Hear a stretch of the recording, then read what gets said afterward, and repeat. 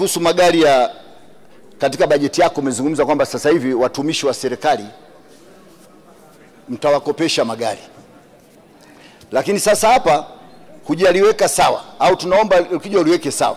Unawakopesha magari, magari yale ukishawakopesha yanakuwa ni ya kwao, na gari kishakuwa mtu la kwake. Kwa hiyo ina maana huwezi tena ukampangia kwamba hili gari sasa hivi labda, labda mtu mkurugenzi wa Dodoma ukamwambia nenda kijiji fulani, nenda kijiji fulani. Kitakachotokea watakuwa wanayachunga sana magari yao, kwa hiyo na zile safari za kiserikali au za kwenda kutembelea wananchi zitapungua. Hiyo ndio ukweli, kwa sababu hawatoyatumia kama wanavyotumia magari mengine, kwa sababu watakuwa wanaona huruma, watapunguza safari.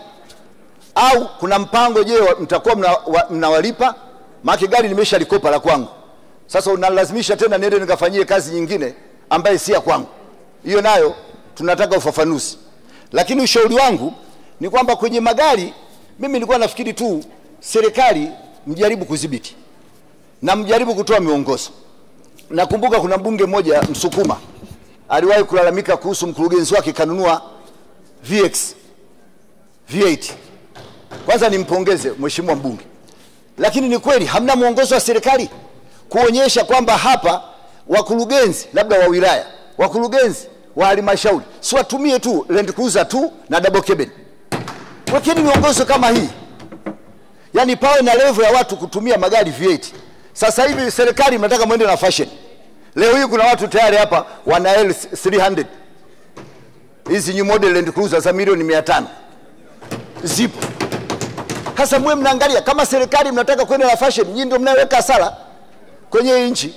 Mwangalie hii, kuna watu kama mawaziri, rais, makamu wa rais, waziri mkuu na watu wengine, sawa, wakitumia magari kama hayo, lakini kuna sehemu zingine huku mwapangie magari gani ya kutumia double cabin, watumie labda level nyingine, watumie gari hizi Prado ndogo, wengine watumie hata Crown kama sisi wabunge. Mbona sisi hela mnazotupa ni za Crown?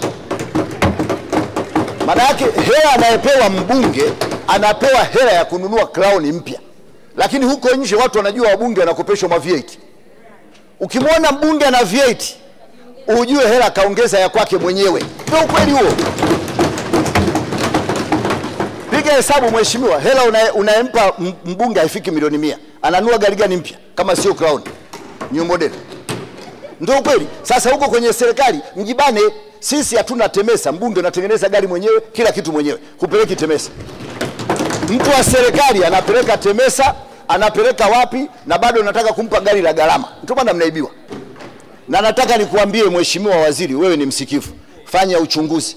Hata hii kampuni ya Toyota spare zingine zinazouzwa sio original, na nilimwambia mimi Mbarawa, nilimwambia Mbarawa kwenye kamati ya miundombinu kwamba hata spare sio original. Fanyeni uchunguzi nazo, kwa mnapigwa sehemu nyingi sana. Taarifa mheshimiwa mwenyekiti.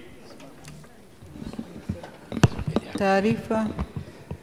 Mheshimiwa Mwenyekiti, pamoja na mchango mzuri wa mheshimiwa anayechangia katika kubana matumizi ya serikali, lakini cha ajabu kwenye sensa wameleta mwongozo wa kununua lava 4 kwa milioni 129 akati tofauti na Land Cruiser ni milioni mbili. Naomba nichangie tu hilo. Mheshimiwa Ahmed Shabibi, unaipokea taarifa? Naipokea kwa mikono miwili. Kwa hiyo Mheshimiwa Waziri, tunajua kabisa wewe na watu wako wote ambaye mko mnapanga hii kitu na mnaitakia taifa hili mambo mazuri.